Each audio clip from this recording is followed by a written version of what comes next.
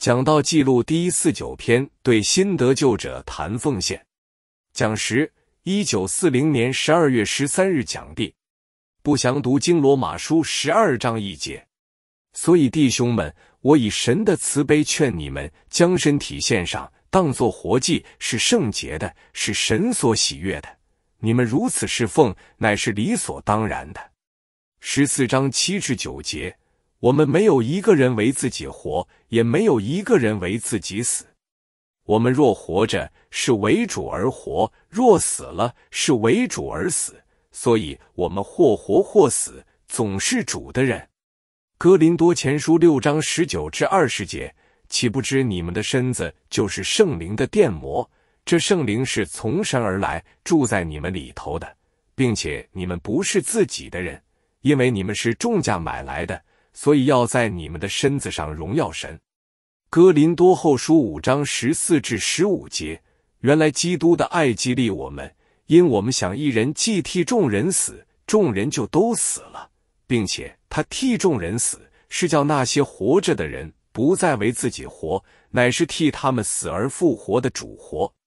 出埃及记十二章二十九节，到了半夜，耶和华把埃及地所有的长子。就是从做宝座的法老，直到被掳囚在监里之人的长子，以及一切投生的牲畜，尽都杀了。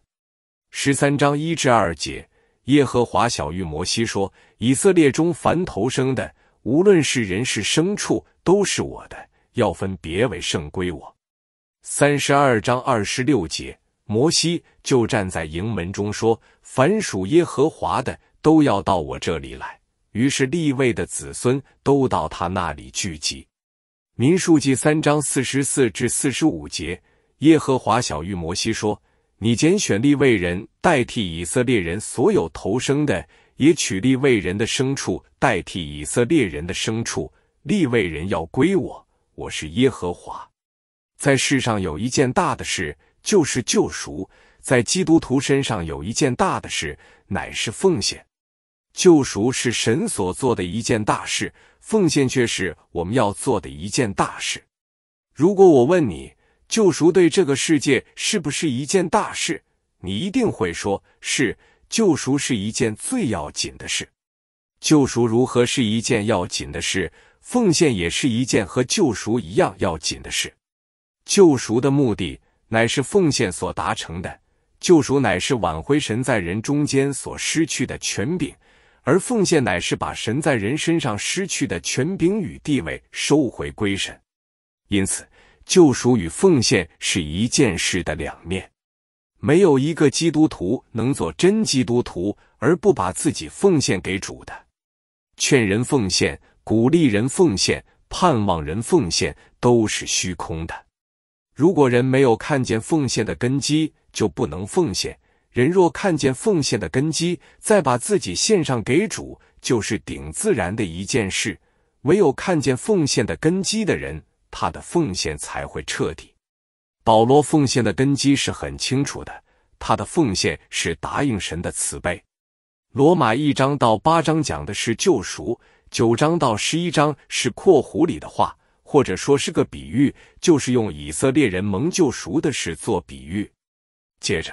十二章就说到奉献，奉献的根基乃是救赎，先有救赎，后有奉献。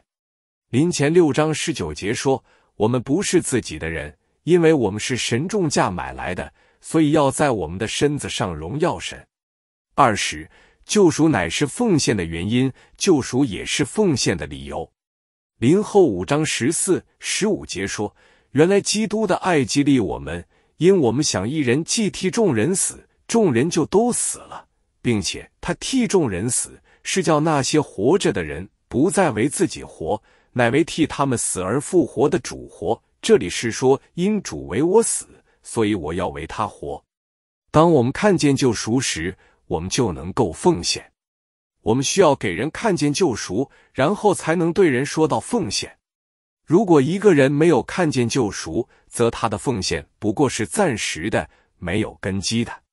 一个人若没有看见救赎，就不能奉献；纵使奉献了，那个奉献也不彻底。什么是救赎呢？救赎在神那里是一件最大的题目。神的救赎就是恢复神所失去的权柄。从神看来，这个世界不只是犯罪的，并且还是灭亡的。路加十五章不是说有一百只羊，其中有一只发脾气了，乃是说有一只羊迷路了，失去了。那里也不是说富人有十块钱，其中有一块钱生锈了，乃是说失落了。还有浪子的比喻。也是说，浪子乃是失去了，是死了的人。所以，人堕落犯罪，在神这方面是神有所失去。要知道，基督徒乃是神的基业。神创造宇宙，乃是要基督在万有之上居首位，要一切都属于基督。但是在宇宙中有一件悲惨的故事发生了，就是人犯罪堕落了，神所创造的人都失去了，属于别人了。在神，这是一件非常痛心的事。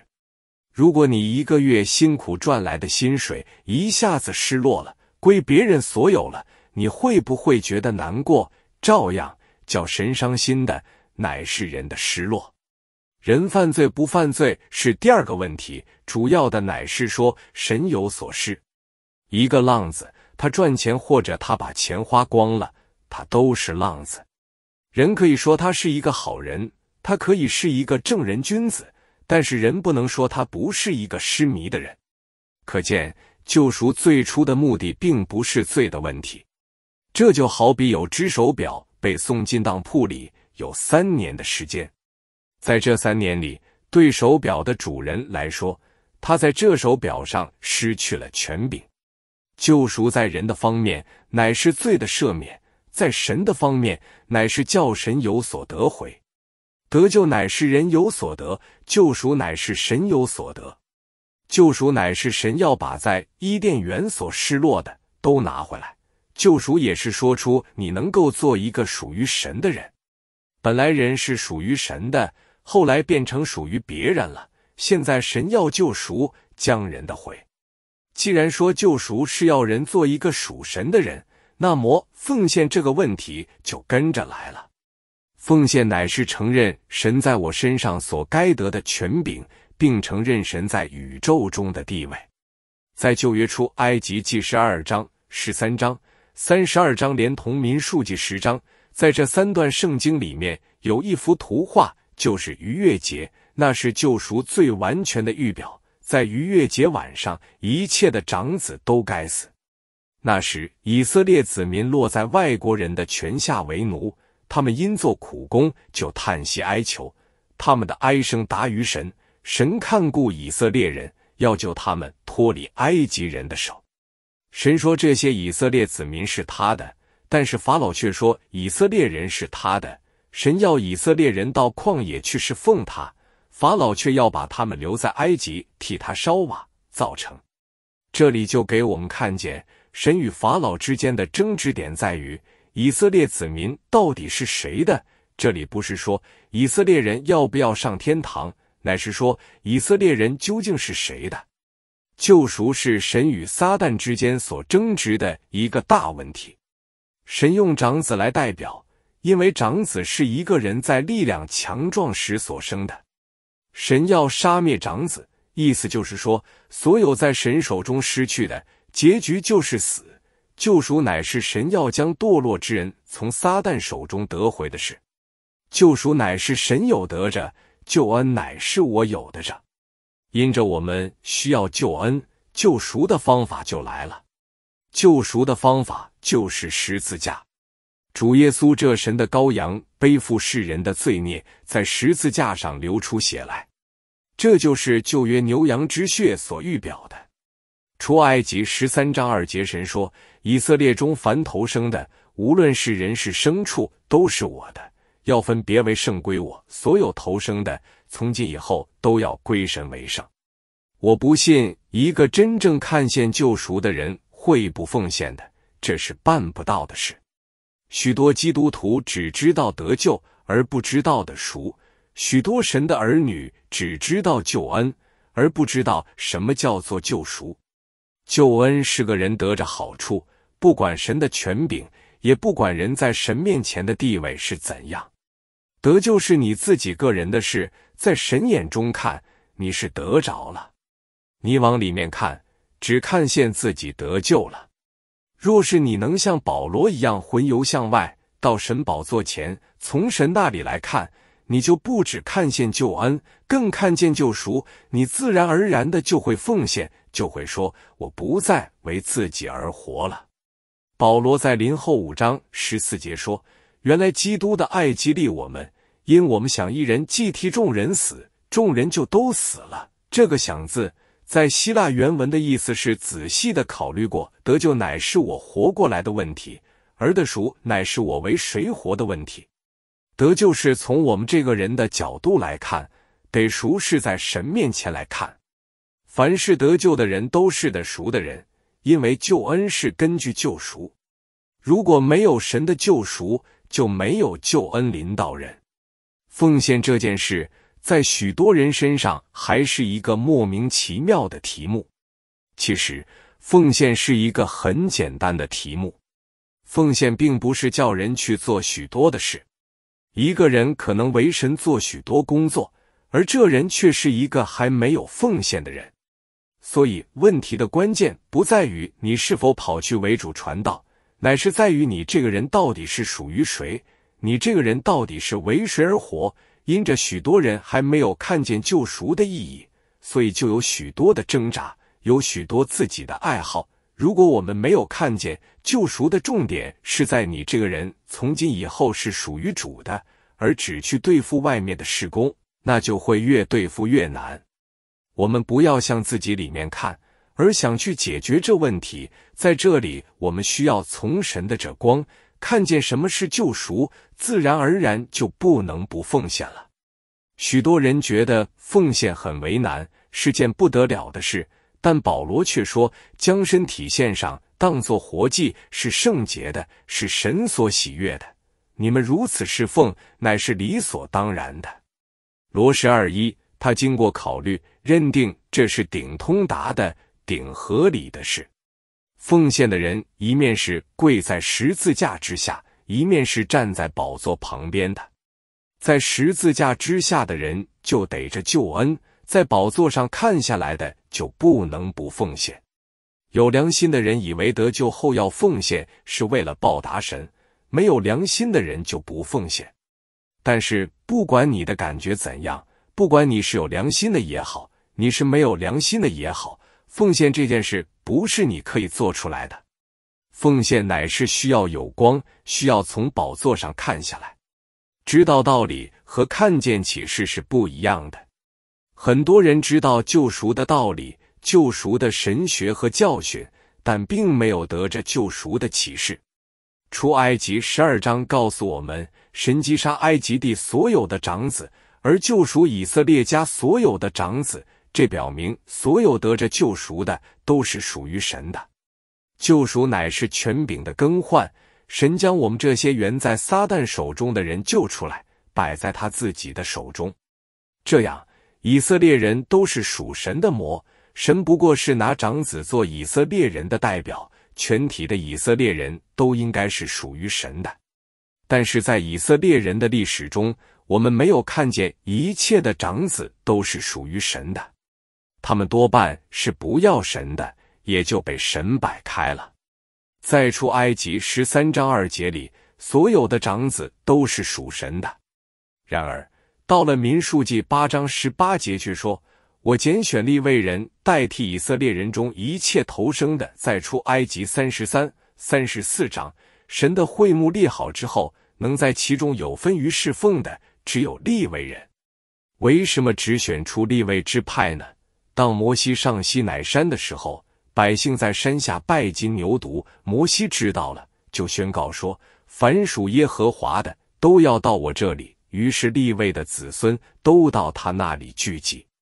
所有的以色列人都是蒙救赎的人，但在这班人中，有一班立位人起来宣告说：“他们乃是属于神的。”民数记八章十八节告诉我们。神就拣选立位人代替以色列人中投生的，神选出立位人来代替以色列人中一切投生的，本来是长子的人就不是长子了。出埃及十二十三章告诉我们，以色列人全体都蒙救赎，他们在那里都得着救恩与救赎。但到了民数记十四章，他们埋怨神，不相信神要带他们进入应许之地，因此神就从他们中拣选出立位人，在此立位人代表奉献，他们代替以色列人中的长子。代替他们是奉神。什么是奉献呢？奉献乃是有一天，你从你自己的家里，从你自己的族里出来，来站在摩西这一边，说我是属耶和华的。我们总有一天要得救。同样的，我们总有一天要奉献得救，怎样不能拖延？我们的奉献照样也不能拖延。在摩西的时代，利未人怎样绝对的站出来？来到摩西那里，说：“我们是属耶和华的。在今天晚上，你们也能够宣告，你们是属耶和华的，把自己奉献给他。但愿今天晚上就有人愿意宣告说：我是属耶和华，我是奉献的。如果你们这样奉献，就要像当日的立位子孙，从自己的家里，从自己的族里走出来。如果你是这样一个奉献给主的人。”你就要起来杀人了！你的丈夫、弟兄、朋友以及你所爱的人，在他们身上都有被刀杀的记号，像立位人把刀挎在腰间，在营中往来，从这门到那门，个人杀他的弟兄与同伴，并邻舍。所有奉献之人的刀都是向外的，都是要杀人的。一个奉献的人不能怕伤人，当然杀的是别人。但伤的是自己的肉体。一个奉献的人要拔刀伤人的时候，最痛的乃是他自己。我并不是说要你们凭自己去做这样的事，我是说，一个人若活在光中，若看见救赎，他自然能够这样去做。所以，罗马十二章一节说：“将身体献上，当作活祭。”这个献上的工作是要你自己做的。奉献给主的人。是一个被放在坛上做活祭的人，这也就是说，奉献给主的人，当他起来杀人的时候，当他把刀放在弟兄或邻舍身上的时候，没有一把刀是他自己不觉得的，他的刀动在别人身上，伤却在自己里面。